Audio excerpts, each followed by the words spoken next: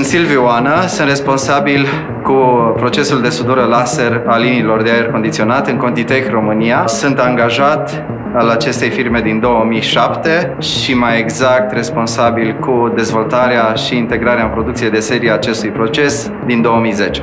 Procesul de sudură cu laser se dorește a fi o înlocuire a procesului vechi de brazare cu flacără, unde se consumă foarte mult gaz, se elimină o cantitate mare de dioxid de carbon în atmosferă. Sudura cu laser a liniilor de aer condiționat folosește energia produsă de o sursă de lumină aflată afară, prin a cărui transmitere ajungem la piesă și o folosim pentru a topi o zonă între cele două componente care urmează a fi asamblate nedemontabil. Un alt avantaj mare al procesului de sudură cu laser este controlul digital al parametrilor de proces, avem și o cantitate foarte redusă de reboot, aproape 0,5. Operatorii de la mașinile de sudat cu laser nu sunt afectați de căldura excesivă de la brazarea cu flacără, lucrează într-un mediu curat, nefiind nevoie de alte elemente chimice. Este un, un mediu complet automatizat. Aliajele de aluminiu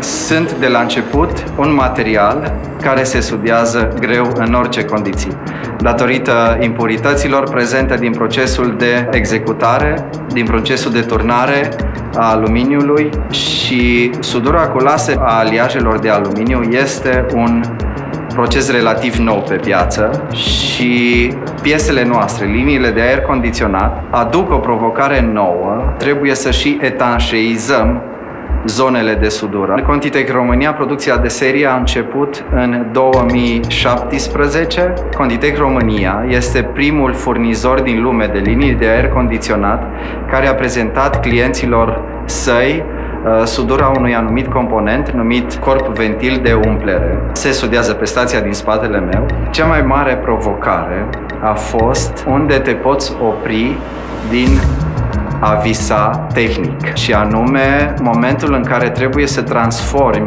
o imaginație în într-un proces real de dezvoltare. Sunt un fan Star Wars care lucrează în domeniul laser e ceva. În concluzie pot spune că sunt norocosul deținător al unui job extraordinar de fain.